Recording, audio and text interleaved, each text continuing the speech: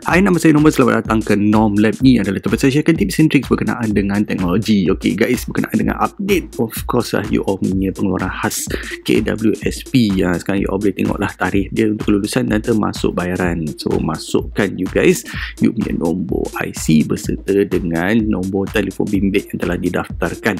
Lepas tu jawab soalan, saya bukan robot. Kadang-kadang dia ada dua soalan, kadang-kadang ada satu soalan. Selepas tu klik pada butang sahkan.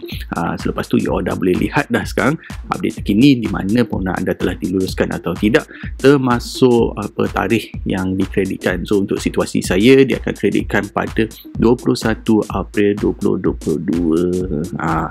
ok guys so itu sajalah video kita pada hari ini. So seperti biasa jangan lupa untuk like and subscribe pada channel saya dan juga komen pada video di bawah. We'll see you in the next tutorial guys. Thank you. Bye